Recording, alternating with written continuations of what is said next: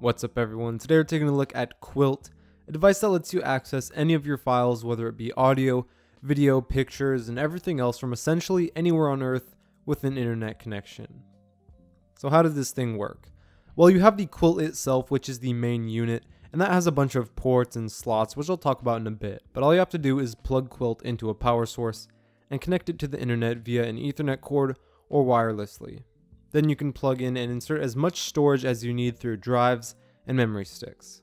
After that, you will now be able to go on your phone and into the Kwilt app, which will give you access to every file on these storage devices plugged into your Kwilt.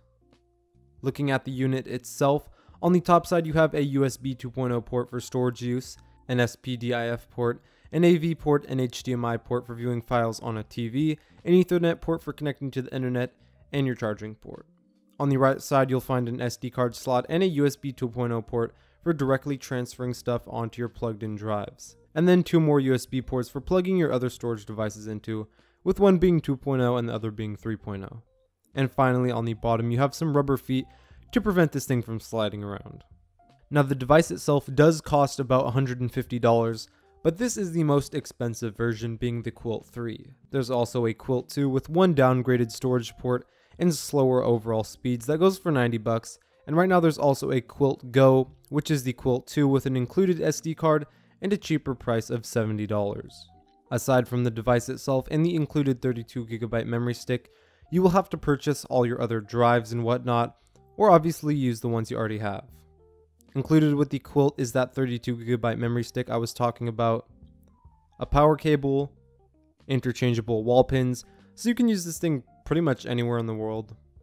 An HDMI cable, an Ethernet cable, and your standard literature. So the real magic happens once you get into the app on your Android or iOS device. On the home screen, you can see all the files that are on any storage device plugged into your Kwilt and instantly view or watch them at full resolution. If you go into a file, you can also play it on a TV, check a bunch of cool useful info about the file, even getting to see things like exposure, aperture, focal length, and more if you shot it on an actual camera. You can also share it in a multitude of ways, including a secure link that goes straight to the file and nothing else. On that main screen, you can also change the source of all the displayed files. So for example, you could also show the photos and videos on your phone. This is also how you transfer stuff from your phone to your Kwilt, by showing the stuff on your phone and then selecting what you want to transfer. I think one area where they definitely missed out is adding the ability to transfer stuff straight from the Photos app on your device. I think it'd be a lot more convenient. At the bottom of the screen, you see three icons. The leftmost one lets you instantly take a photo or a video. The rightmost one takes you to some sort of settings. And the middle one lets you switch views between a grid, by date, by location, by media source, and the last one lets you physically search for stuff by location, date, things like that. If you tap on the icon in the top left corner, you get some options to copy every single photo and video from your phone to your Kwilt, copy stuff from an inserted SD card to your Kwilt, and directly go through the file trees on your Kwilt, which is pretty cool.